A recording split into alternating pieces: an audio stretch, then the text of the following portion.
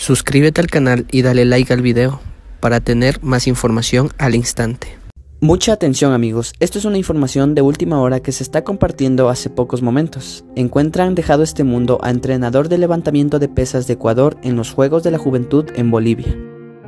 La delegación ecuatoriana de levantamiento de pesas que se encuentra concentrada en Sucre, Bolivia, como parte de los Juegos Bolivarianos de la Juventud, informó el deceso del entrenador Julio César Zambonino. El propio comité organizador de los Juegos expresó sus condolencias a través de su página oficial de Facebook por el deceso del entrenador. Conbol Sucre 2024 expresa su profundo dolor por la pérdida del entrenador de levantamiento de pesas del Team Ecuador, Estamos con un alto dolor y expresamos nuestro sentir a la familia del país de Ecuador, señala la entidad deportiva.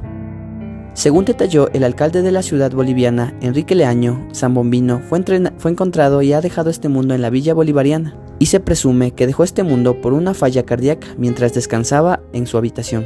Él vino con nosotros, estamos hechos cargados de él, entonces algo que uno no, no se puede.